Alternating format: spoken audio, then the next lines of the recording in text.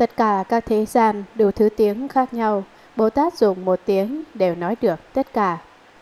Vì tất cả chúng sinh thế gian sẽ nói đủ thứ âm thanh khác nhau, Bồ Tát dùng một âm thanh có thể nói ra vô lượng ngôn ngữ khác nhau.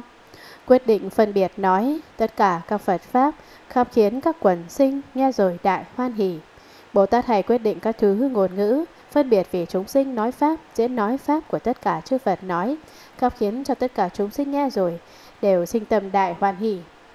Tất cả kiếp quá khứ để hiện tại vị lai, kiếp vị lai hiện tại, xoay để đời quá khứ. Đem tất cả kiếp quá khứ để ở trong kiếp vị lai, lại có thể để, để ở trong kiếp hiện tại. Lại có thể đem kiếp vị lai và kiếp hiện tại về để ở trong kiếp quá khứ, hỗ tương rời đổi với nhau mà chẳng có chướng ngại.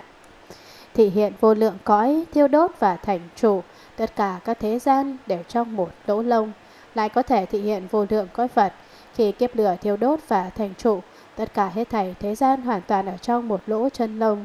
Cứu lai và hiện tại, tất cả mười phương Phật, thảy đều ở trong thân, phần rõ mà hiển hiện. Đời quá khứ, đời vị lai, đời hiện tại, tất cả mười phương chư Phật, thảy đều ở trong thân, phần mình hiển hiện, thấy được, rõ ràng. Biết dầu pha biến hóa, kéo ứng tâm chúng sinh, thị hiện đủ thứ thân mà đều không chấp trước, Bồ Tát biết sâu pháp biến hóa các ứng tâm của tất cả chúng sinh, do đó có câu quán cơ thí giáo vì người cho thuốc. Đáng dùng thân gì độ được, thì Bồ Tát thể hiện thân đó mà vì họ nói pháp, tùy thể hiện đủ thứ thân nhưng đều không có sự chấp trước. Hoặc hiện nơi sáu cõi, tất cả thân chúng sinh, thân thích phạm hộ thế, thân chư thiên, loài người. Hoặc hiện ở trong sáu nẻo luân hồi, thì hiện thân tất cả chúng sinh, hoặc hiện thân thích đại hoàn nhân, hoặc hiện thân đại phạm thiên vương, hoặc hiện thân hộ thế tứ thiên vương, hoặc hiện thân chư thiên, hoặc hiện thân người, hoặc thân Atula, vân vân. Thần thành phần duyên giác, thân chư Phật như Lai, hoặc hiện thân Bồ Tát tu hành nhất thiết trí, hoặc hiện thân thành phần, hoặc hiện thân duyên giác, hoặc hiện thân chư Phật, hoặc hiện thân Bồ Tát tu hành nhất thiết trí huệ. Kéo vào hạ trung thượng, chúng sinh các lưới tưởng, thị hiện thành Bồ Đề cùng với cõi chư Phật. Kéo vào trong chúng sinh thượng trung hạ, tại tất cả lưới tưởng chúng sinh thị hiện thành Bồ Đề, thành tựu Bồ Đề giác đạo, kiến lập tất cả cõi nước chư Phật. Biết rõ các lưới tưởng, nơi tưởng được tự tạ, hiện tu hành Bồ Tát, tất cả việc phương tiện. Thấu rõ lưới tưởng của tất cả chúng sinh, vọng tưởng giống như lưới. Đối với tưởng đắc được tự tại, không còn bị ràng buộc lưới tưởng nữa, thì hiện hạnh môn tu hành của Bồ Tát cùng với tất cả việc phương tiện. Thị hiện như vậy thầy, các thần biến rộng lớn, các cảnh giới như vậy, thế gian chẳng biết được. Đủ thứ sự tướng thể hiện ở trước đã nói, đều là thần thông biến hóa rộng lớn, tất cả cảnh giới như vậy, chúng sinh thế gian chẳng cách chi biết được. Tuy hiện không chỗ hiện, rốt giáo lại tăng thêm, tùy thuận tâm chúng sinh, chiến hành đạo chân thật.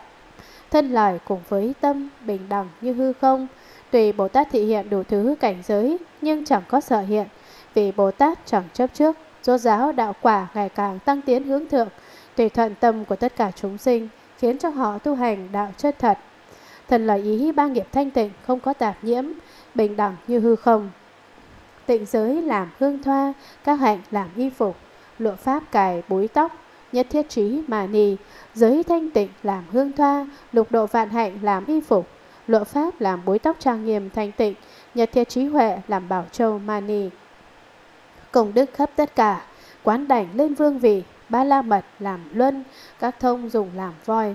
Công đức đó các cùng mười phương cõi Phật, quán đảnh thọ ký giống như lên vương vị. Dùng pháp mười độ ba la mật làm bánh xe đại thừa, sáu thần thông làm voi trắng lớn. Thần túc dùng làm ngựa, trí huệ làm minh châu, diệu hạnh làm thể nữ, bốn nhiếp chủ tạng thần. Thần túc thông làm ngựa, trí huệ làm minh châu, sở tu diệu hạnh làm thể nữ, bốn pháp nhiếp làm chủ tạng thần báu. Chuyển luân thánh vương có bảy thứ bảo bối, một luân báu, hai châu báu, ba vòi báu, bốn ngựa báu, năm binh báu, sáu chủ tạng thần báu, bảy nữ báu. Phương tiện làm chủ binh, Bồ Tát truyền luân vương, tam muội làm thành quách, không tịch làm cung điện. Phương tiện thiện xảo làm chủ binh báu, Bồ Tát ví như chuyển Ngân thánh vương, tam muội làm thành quách, nội thành là thành, ngoại thành là quách. Không tịch làm cung điện, cung là chỗ ở của hoàng đế, điện là chỗ làm việc, xử lý quốc gia của hoàng đế. Giáp từ kiếm trí huệ, cung niệm tên minh lợi, giang cao lọng thần lực, lại dựng tràng trí huệ. Từ bi làm áo giáp, trí huệ làm bảo kiếm, trách niệm làm cung báu, minh lợi làm mũi tên, giang cao lọng báu thần lực, lại dựng tràng báu trí huệ. Nhẫn lực chẳng lay động, đánh thẳng quân ma vương, tổng trì làm đất bằng, các hạnh làm sông nước, sức nhẫn nhục chẳng lay động hay đánh thẳng vào quân ma vương. Phạm một tổng trì làm đất bằng, tất cả hạnh môn làm sông nước, hai thứ nhân duyên này hay sinh ra diệu pháp. Tịnh trí làm suối vọt, diệu huệ làm rừng cây, hư không làm hồ trong, giác phần làm hoa sen. Trí thanh tịnh làm suối vọt, huệ vi diệu làm rừng cây, thế nào gọi là trí? Thông sự tướng hữu vi là trí, thế nào là huệ? Đạt nơi định lý vô vi là huệ, cũng có thể nói thông hiểu các pháp là trí, dứt hoặc chứng lý là huệ, hư không làm hồ báu lắng trong, giác phần làm hoa sen. Thần lực tự trang nghiêm, tam muội thường đùa vui, tư duy làm thể nữ, cam lồ làm thức ăn. Vị giải thoát nước uống, du hí nơi ba thừa. Thần thông lực tự trang nghiêm, tam muội làm vui đùa, tư duy làm thể nữ, cam lồ làm thức ăn ngon, vị giải thoát làm nước uống, du hí nơi thành phần duyên giác Bồ Tát ba thừa. Các Bồ Tát hạnh đó vi diệu càng tăng thêm, vô lượng kiếp tu hành, tâm đó không nhàm đủ. Ở trên là tất cả hạnh môn tu hành của Bồ Tát, càng tu hành thì càng có những cảnh giới vi diệu không thể nghĩ bàn, ngày càng tăng trưởng hướng thượng. Ở trong vô lượng kiếp tu hành, tâm đó chẳng khi nào nhàm mỏi biết đủ. Cúng dường tất cả Phật, nghiêm tịnh tất cả cõi, khắp kiến tất cả chúng, an trụ nhất thiết trí. Cúng dường mười phương tất cả chư Phật, trang nghiêm thành tịnh tất cả cõi nước chư Phật, khắp khiến cho tất cả chúng sinh an trụ ở trong nhất thiết trí.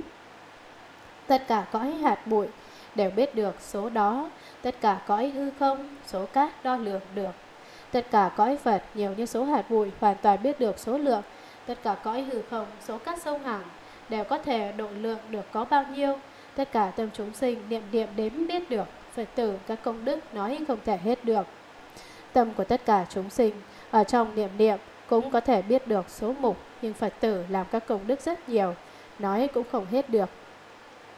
Muốn đủ công đức này và các pháp thượng diệu, muốn khiến các chúng sinh lìa khổ thường an lạc, nghĩ muốn đầy đủ công đức này thì phải có tất cả diệu pháp vô thượng mới có thể khiến cho tất cả chúng sinh lìa khổ được an lạc. Muốn khiến thân lời ý đều đồng với chư Phật nên phát tâm kim cang học hạnh công đức này. Bồ Tát muốn khiến cho thân lời ý ba nghiệp hoàn toàn đồng với tất cả chư Phật, phải phát tâm Bồ Đề Kim Cang, tinh tấn học tập hạnh của công đức đó. Chúng ta nghe đoạn kinh này rồi, cũng nên phát tâm Kim Cang của Bồ Tát. Hết tập 20